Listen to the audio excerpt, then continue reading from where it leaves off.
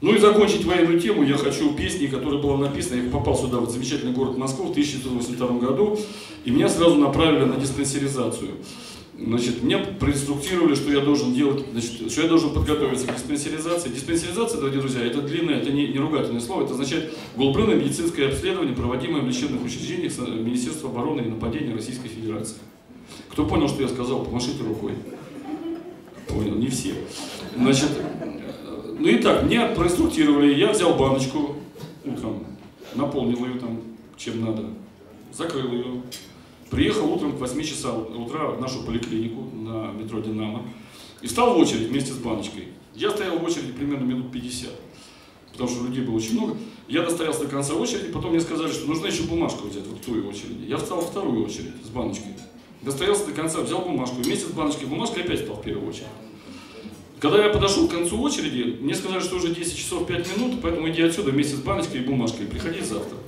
И все остальное общение с военной медициной проходило вот в таких примерно рамках.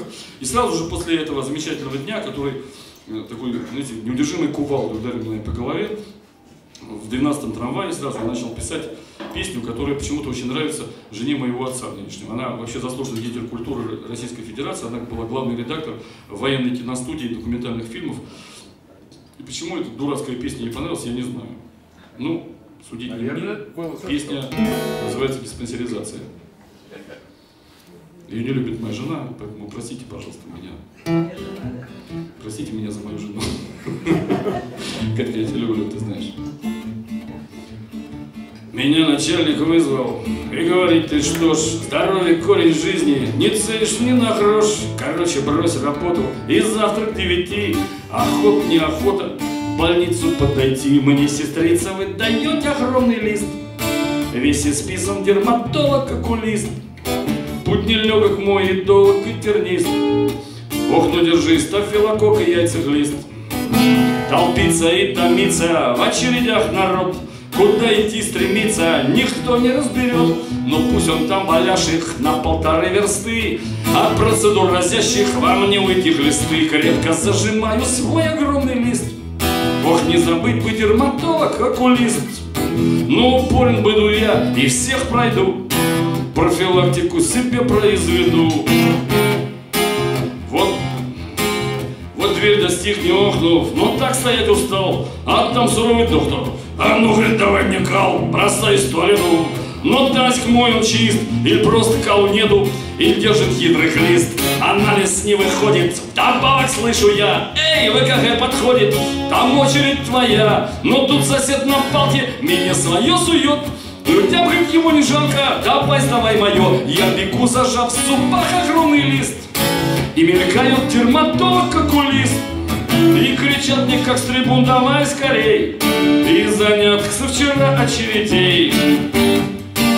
Вот баночку сжимая, на чей-то крик бегу, но тетка не пускает, говорит, одетых не могу, штаны съедаю быстро, и в дверь скорее шмык, а там два кулиста, ох, ну ты даешь, мужик, вновь по лестнице бегом летней стены, злобный враг унес ботинки и штаны, но зато я знаю точно, окулист не берет без порточных яйцах лист. Ну, без штанов, без этих я отбегал всех врачей. Пускай там в кабинетах запутал сердечей, проверил зуб у лора и ухи ВКХ. И долго дерматолог ширял в могильноте, но этим медикам я все-таки отомстил. Слух коварный по больнице распустил, мол, дантист к терапевту, все равно, вот так лучше было. Пациент пущай заходит без штанов. Короче, вот что, братцы, сказать мне нужно здесь.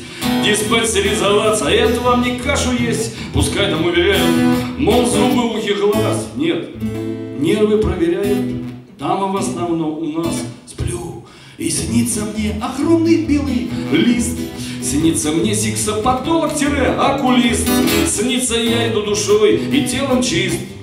А сзади жрет мне огромный яйцеглист.